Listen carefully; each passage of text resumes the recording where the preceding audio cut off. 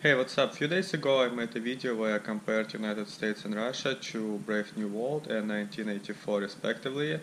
Uh, some people asked me to back up my opinion, bring some examples. I guess I'm gonna do two separate videos, one about uh, US, one about Russia.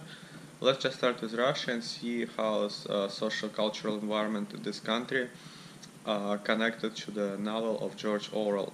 Well, if you turn on news on any of Russian channels or read any of Russian newspapers, you'll get very strong message from there.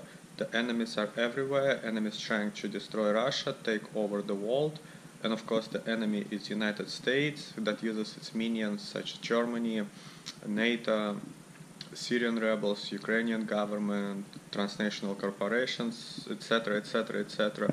So, in a given circumstances, Russia has no choice but fight back and the only way to win this war is uh, for people to unite uh, together and stay with its government because government knows what's happening and how to uh, save the world. Uh, you can see exactly the same happening in the book uh, and it also brings us to the next point. As you might remember in the novel, uh, there are two other countries in the world and depending on current political agenda, those three countries in a constant state of war with each other, but they ally one with another, fighting the third one. Well, and in order to make it happen and not raise any questions, they adjusting history.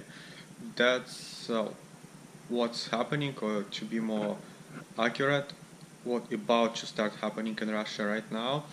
For instance, there is a new movie that's been in production and it's about the last Russian king, uh, Nikolai II, and his romantic relationships with a dancer. There's a certain group of people, conservative Orthodox Christians, who are trying to stop this movie from being uh, released, and those people surprisingly pretty power have have pretty pretty powerful. Uh, uh, so basically, their complaint is that movie presents uh, Nikolai II in a bad light, and supposedly he's been canonized and uh, pronounced saint for reasons that only Russian Orthodox Church knows. But point being, this is a historical event. that actually happened. He did have these relationships, and the movie is not a political drama or sort of so it doesn't have any political message, but since current political agenda in Russia does not fit an image of uh, last Russian king to be a human being with weaknesses, there are certain attempts to make it being forgotten. Uh, I think it's just the beginning. It's going to be worse in the future.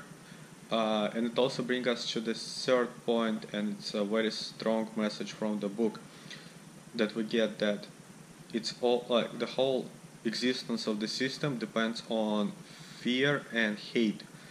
Uh, as we saw before, fear is built through the idea that enemies are everywhere, and the hate is to everyone who is different. And it doesn't matter if we talk about political views, uh, liberals in Russia are very suppressed by government and government supporters. It's uh, they've been strong message again from the media. Uh, to put liberals in a very bad light, telling that they all work for uh, United States and they're not trying to expose the different opinions, they're just trying to destroy Russia.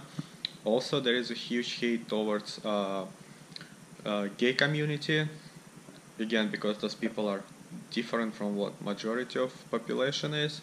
Uh, there is hate to certain ethnical minority groups.